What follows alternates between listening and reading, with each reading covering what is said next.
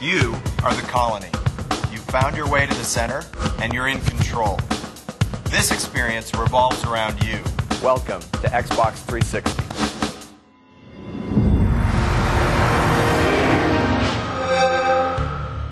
What we really set out to do with Xbox 360 is put the gamer at the center of the experience. Xbox 360 is about the gamer. It's all about building great experiences. It brings a lot of different experiences and a lot of different people closer together. It's just a constant and ever increasing environment of community, of friends, of gaming.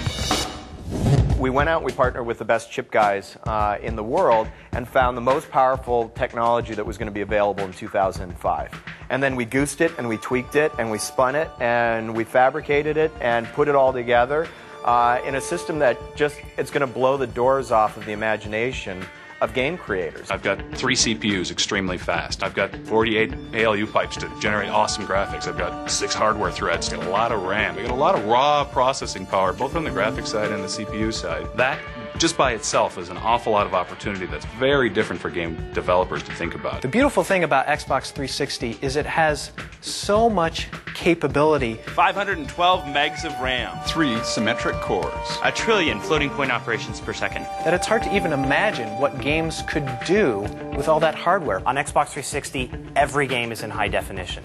Every game is in full fidelity surround sound. The basic gesture of the new console is uh, double concavity. It's derived from the idea of an inhale. It has a very distinctive iconic gesture. This is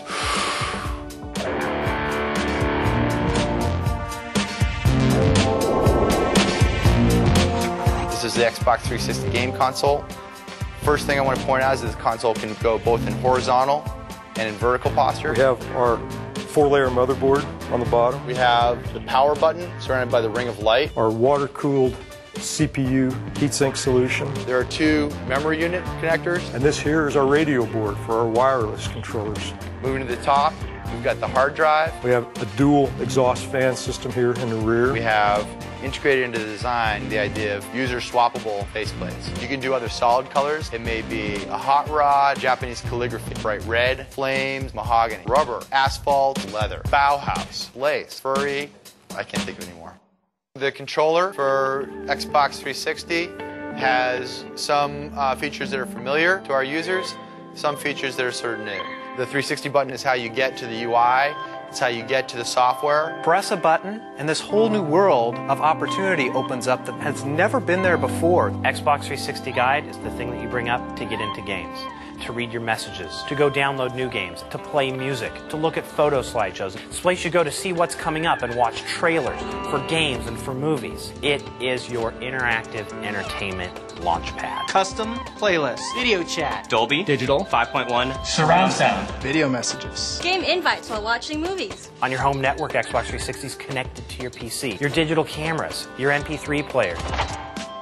The team that, that birthed Xbox 360 is just has this obsession with progression. This is one of the reasons I came to the Xbox team was to work with a great group of people that are just some of the most technically talented, technically smart people I've ever known. The group of people that have actually worked on that is amazing. The thing about our team is we're all gamers. My gamer tag is Dingo. Mahana. Doughboy. Ikeda-san. Light sleeper.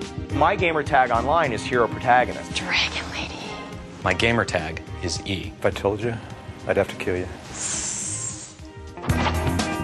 With Xbox Live, you can have these shared, pretty intimate experiences with people online. I can actually see my friends while I'm talking to them. Every single game on Xbox 360 is Xbox Live aware. The future of Xbox Live, just like the community, just like the gameplay, just like the live service, is limitless. Live enabled out of the box. Gamer card. Messaging. Marketplace. Custom matchmaking. Your very own gamer score. Oh, yeah! Now, we're going to let the gamers control the paintbrushes. They're going to be able to control the environments in new ways. They'll be able to customize their cars. They'll be able to run their own sports leagues. They'll be able to set up their own racetracks. They'll be able to paint their own skateboards and design their own skate parks. I mean, make Xbox 360 yours. Like, take it out of our hands. I mean, this Xbox 360 was birthed by the Xbox team at Microsoft, but you're the ones that give it life.